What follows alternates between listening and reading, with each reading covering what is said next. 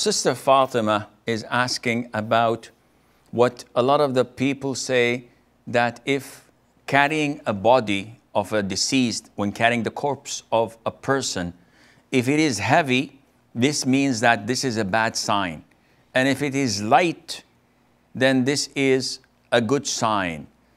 This has no foundation of uh, uh, backing it up.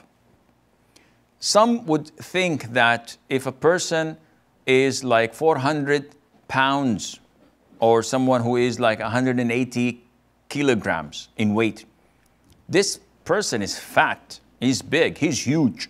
So to carry him, you have to have strong men to do so. Sometimes the men themselves say that his body was so light we did not feel anything. So this gives the people an impression that maybe the angels helped carrying him, but we do not have any concrete evidence to support this. Therefore, it was not mentioned in the Quran or in the Sunnah that the weight of the corpse, the weight of the deceased when being carried to his grave, has any significance.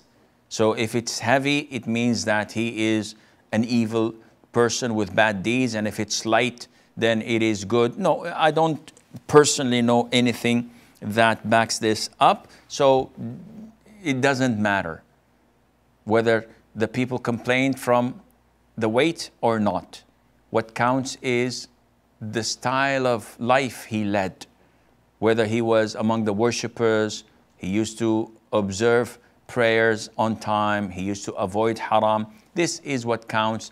His reputation among the Muslims, eh, they compliment him after his death, saying that he was a good person. This is what counts.